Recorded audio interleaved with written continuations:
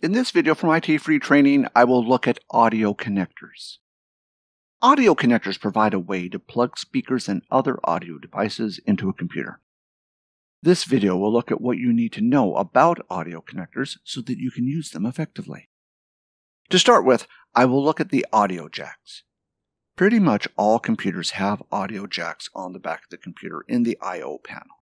These jacks are 3.5mm or 1 8 inch TRS plugs. Essentially, the connector is a metal cylinder which is divided up by insulation into different parts. With audio, the cylinder is broken into three parts which are called the tip, ring, and sleeve, thus the name TRS. Different computers will have a different number of audio jacks. In many cases, there may be three, five, or six. To make it simple to know which plugs are which, they are color coded. Unless you have surround sound, you will most likely only use three of the plugs at the most. The light blue plug is used for input from a device, often called line in. A lot of devices like CD players will have an output jack that is compatible with the line in jack. It is quite a common connection and is found in a lot of sound and video systems. The lime colored plug is for audio out. This can be used for headphones, speakers, or output to another device. The pink plug is the microphone plug. This is an input plug just like the line in plug, however, it is mono. The other difference is that the voltage levels are different.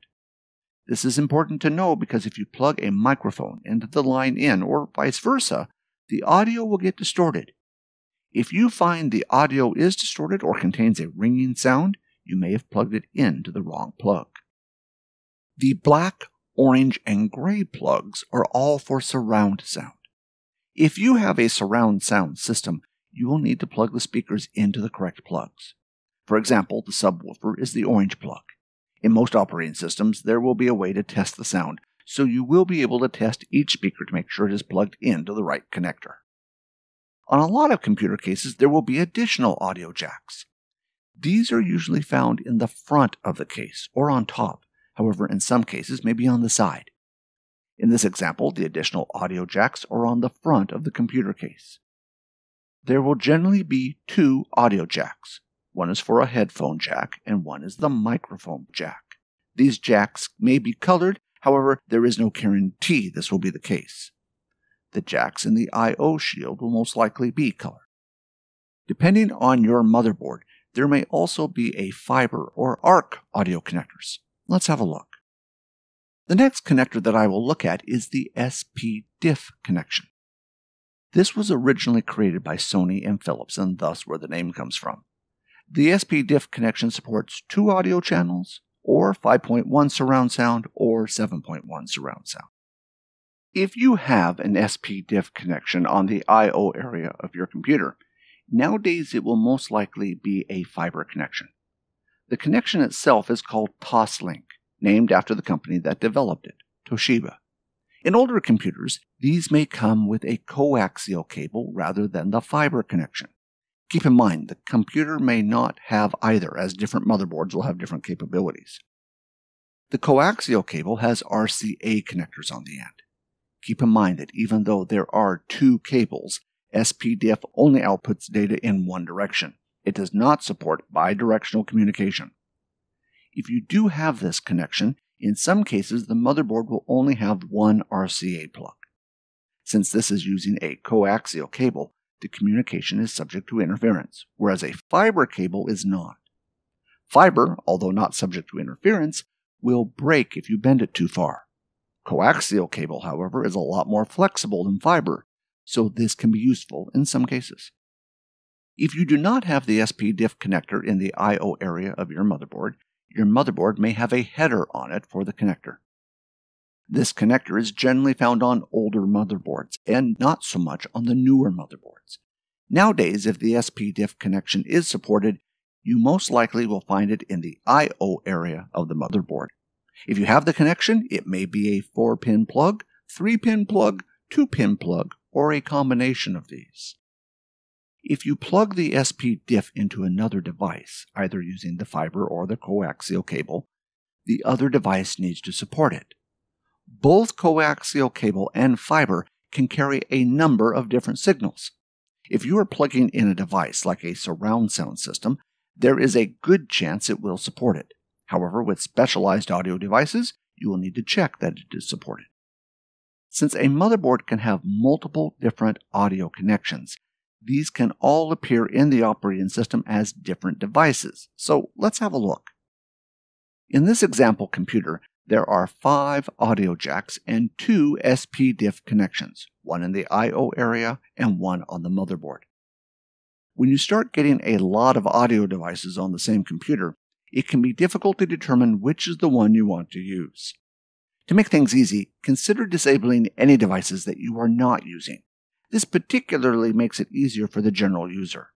The general user will probably only use a couple of them, so get rid of the ones they will never use. If you do this, the device will disappear and won't appear in the operating system as an option. When troubleshooting, make sure you check to make sure the device has not been disabled or is currently disconnected. In Windows, if you right click on the window, this will display a menu that allows you to display disabled and disconnected devices. This may not seem like too much of a problem, but let's consider what it looks like when we have a system with a number of audio connections and start adding additional audio connections, such as audio from a monitor. You can understand why you would want to hide disabled or disconnected devices. However, having these devices being hidden makes troubleshooting harder. If you are using a TV as a display, it will have built in speakers. Some monitors will also come with built in speakers. In order to use these speakers, the cable connecting the computer and the monitor will need to support audio. DisplayPort HDMI, and Thunderbolt all support audio. For sound to be supported, the video cable will also need to support sound. Modern video cards should support sound, assuming the connection used supports it. This includes integrated video cards in a CPU. Older video cards may not have this feature. You can start to see that a computer can easily support a lot of different sound adapters. If I consider a basic example, in a basic computer, you'll have your audio jacks. Your computer may also have an SPDIF connector. Next, let's consider that a pair of USB headphones are plugged in. This will add an additional sound adapter.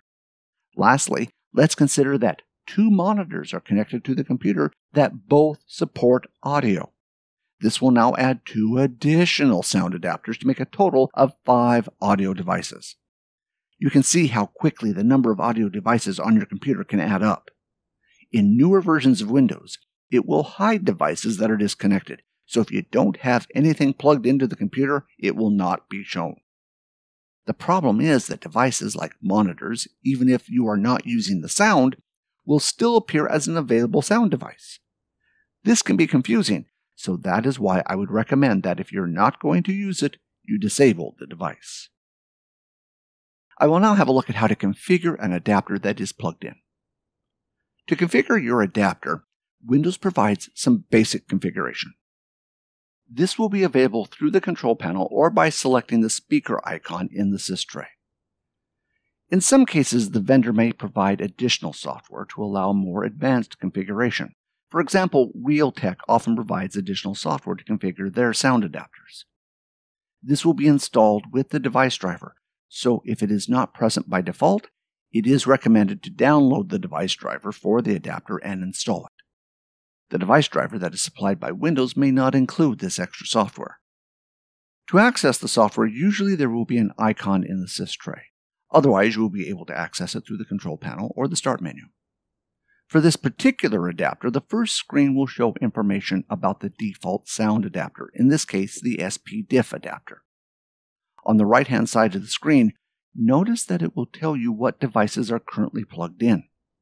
In this case, the SPDIF connector and audio jacks are plugged in. If I select the audio icon, nothing will happen, as the sound adapter is already being displayed. Further up, notice that if I click the green jack, this will take me to the speaker tab. In the audio jack is a headset. This has been detected as speakers, which is technically correct. Depending on the software available, you may be able to change settings to affect how the sound is processed. For example, you may be able to configure the sound so it sounds like it is being played in a large hall. In some cases, the sound adapter may have the ability to detect what device has been plugged into the audio jack. For example, if you plug in the headset into the line in. This sound adapter does not have that ability.